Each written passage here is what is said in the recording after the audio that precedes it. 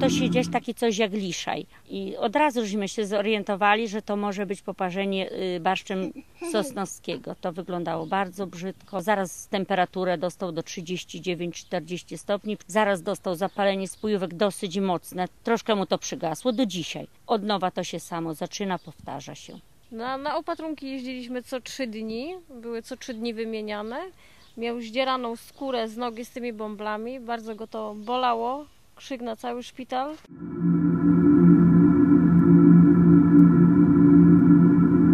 No wakacje ma całe stracone, bo na zewnątrz może wychodzić tylko albo wcześnie rano, jak jeszcze nie ma takiego słońca, albo całkiem wieczorem, koło 20, jak już całkiem zajdzie to słońce, bo promienie bardzo mocno działają e, na tą ranę i ona się odnawia. Podobnie to sadzili y, jako paszę dla zwierzyny.